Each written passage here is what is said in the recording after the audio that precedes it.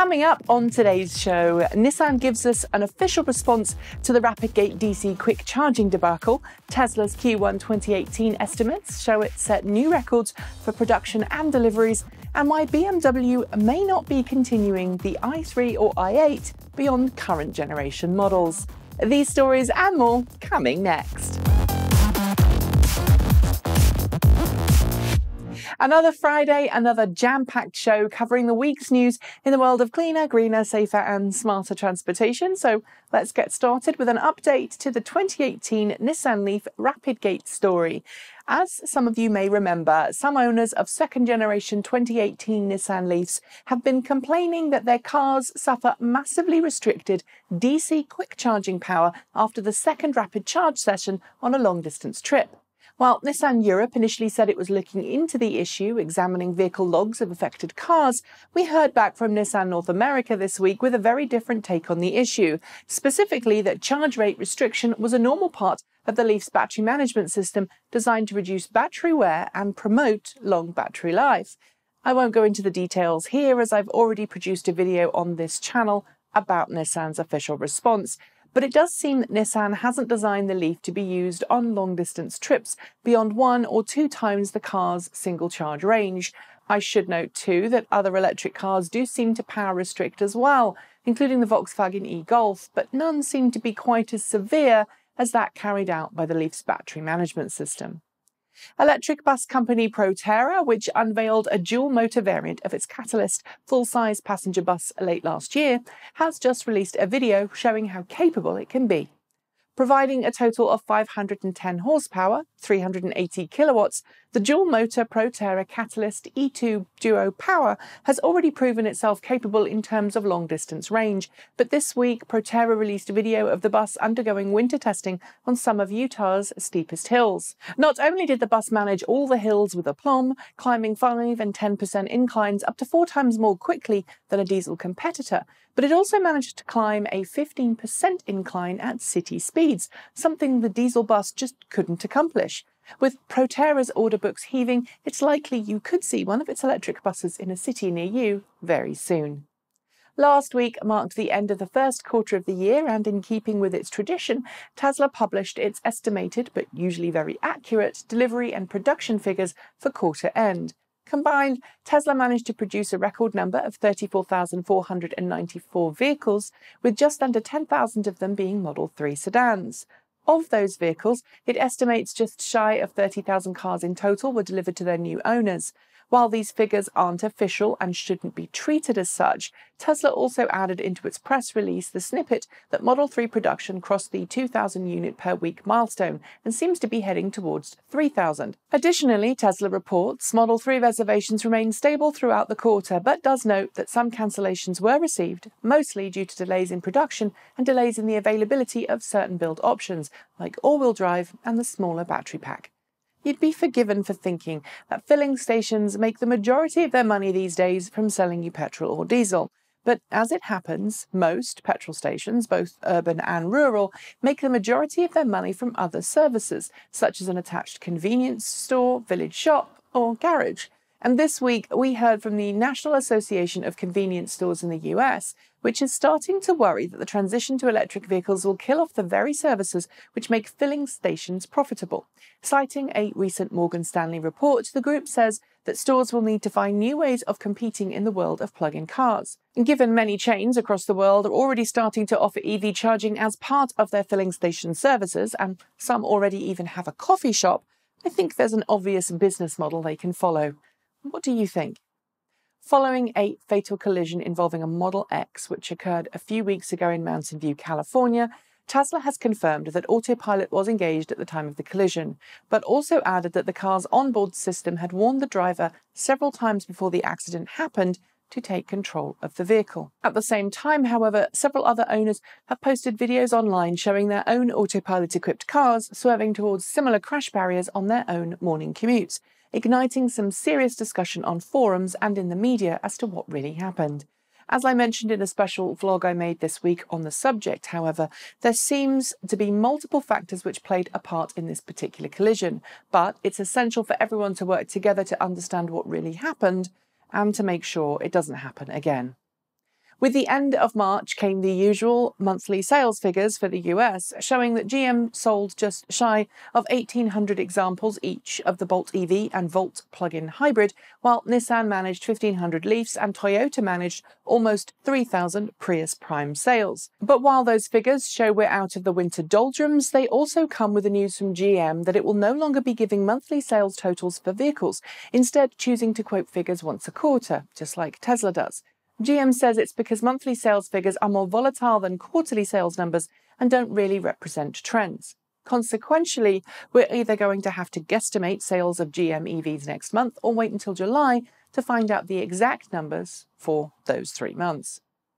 This week, as expected, the head of the US EPA announced it would reject official corporate average fuel economy standards set by the previous administration, standards which had called for fuel economy of new light passenger vehicles to average 50 miles per gallon by 2025, essentially rolling those standards back, much to the joy of the automakers who had lobbied for such action. The less stringent EPA targets will make it easier for SUVs and pickup trucks to meet fuel economy targets without resorting to hybrid, mild hybrid, or electric drivetrains. The net effect? Quite possibly a reduction in investment in cleaner vehicle technology. Although, with the rest of the world still pushing for zero emission futures, that might not be how it plays out, EPA or not. Nikola Motors, the company that's going head to head against Tesla in the zero tailpipe big rig market, has announced it will be returning all customer deposits for its Nikola 1 and Nikola 2 trucks. No, it's not going out of business. It's a clever marketing ploy that goes straight after Tesla, which is currently taking a $20,000 deposit per Tesla semi ordered. Tesla, as I'm sure you know, really does need those deposits to help it refine and ready the Tesla Semi for production. But Nikola Motors claims it doesn't need customer deposits to ready its hydrogen fuel cell truck for market. Instead, it says customers will get a full refund of any deposit placed thus far, and they'll also get to keep their place in line. Given Elon Musk doesn't like being shown up, I'm eager to see what Tesla's official response will be.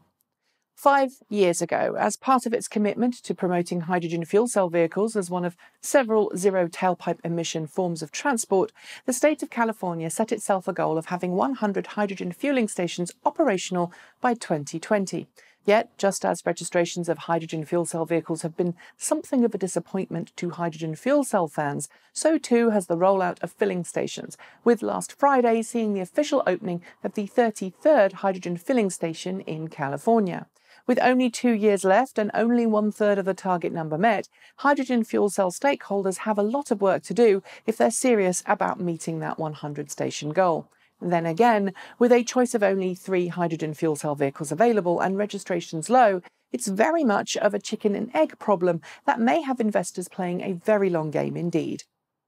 Norway's love affair with plug in vehicles just keeps continuing to grow, with the latest figures from Norway showing that plug in vehicles accounted for 55% of all new car sales during March, with pure electric vehicles accounting for 37% of all new cars sold.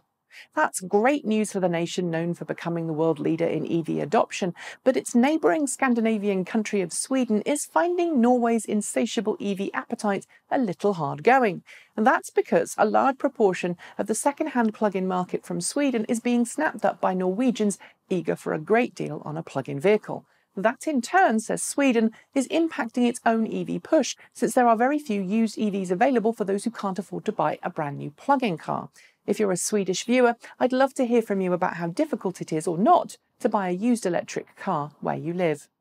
Staying in Europe, French automaker PSA announced this week that it's about to set up a special low emission vehicles business unit tasked with, among other things, developing a portfolio of plug in and electric vehicles for Peugeot and Citroën, as well as the recently acquired Vauxhall and Opel brands, the reasons are a little complicated, but at the heart of it seems to be an ongoing battle between PSA and former Opel and Vauxhall parent company GM.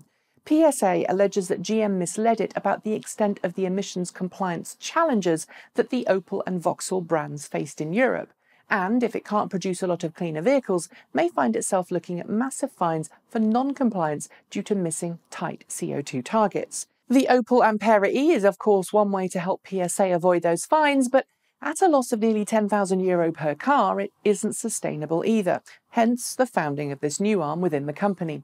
Details are sparse right now, but as always, I'll let you know more information when I have it. It's been a while since we've heard from Virgin Hyperloop One, but this week a few stories overlapped that warrant mention here. First, in the presence of the Crown Prince of Saudi Arabia, Virgin Hyperloop One unveiled its latest prototype pod, a full sized Hyperloop capsule showing how far the company has come in such a short time. Second is news of a reshuffling of the company's board of directors following the departure of three directors, suggesting that there's some internal startup turmoil chewing through execs and staff in typical Silicon Valley fashion. If that wasn't enough, a fourth board member was arrested in Russia this week, charged with embezzlement and fraud, although I should note that these charges have nothing to do at all with Hyperloop One. Finally, after many years of resisting the call from its customers, Renault has begun to offer French customers the chance to buy their cars with a battery pack included rather than force them to rent the battery pack. Battery rental was part of Renault's Grand Master Plan when it launched its quartet of electric vehicles back in 2011, but over time, more and more European countries have begun to offer Renault EVs with full battery pack purchase as an option for those who don't want to pay extra rental every month. It's not clear why Renault held out on not offering battery purchase in its home market of France, but if you're a French customer, rest assured you can now buy your Zoe avec pile compris. For some time now, there's been an ongoing discussion over what's next for BMW's i brand of electric vehicles, especially since BMW seems to be ready to fold electric and electrified vehicles into its main BMW and Mini brands. To date, we've heard of several possible outcomes, including the addition of two additional models in the form of the i4 and iNext. But this week, Automotive News suggested that BMW is still trying to decide what it will do with the i3 and i8 when the current model production ends. While eye catching and essential in the development of BMW's portfolio, BMW officials now suggest that the i3 and i8 will be axed in favour of developing platforms that can accommodate a variety of drivetrains, including all electric variants. While sales in Europe of the i3 remain strong, it's worth noting that the i3 hasn't done so well in North America and it's also not an SUV, a market that BMW seems eager to electrify in order to go after Tesla. And finally, most of the electric cars we cover on this show are ones that are designed and built as electric models at the factory. Occasionally, however, we cover converted vehicles, such as the all electric G Wagon converted by Austrian firm Kreisel. A company well known to Arnold Schwarzenegger, it even built a plug in Hummer for him. The specialist shop has unveiled its latest creation, a fully operational all electric fire truck. The result of two years of planning, the tactical fire engine has entered service in Linz, Austria, and packs an impressive 86 kilowatt hours of power on board to enable it to operate in many situations without any range anxiety. Now, if only we could get some of those around here. And that, as they say, is your lot for today. I'll be back next week with more cleaner, greener, safer, and smarter transportation news. But in the meantime, don't forget to like, comment, and subscribe hit the notification bell, and as always, I'd love it if you consider supporting the show through Patreon, or if you're so inclined, send us your bitcoins at the address in the description below. I'll be back soon with more awesome news, so all that's left for me to do is wish you a great weekend. Thanks for watching, and as always, keep evolving.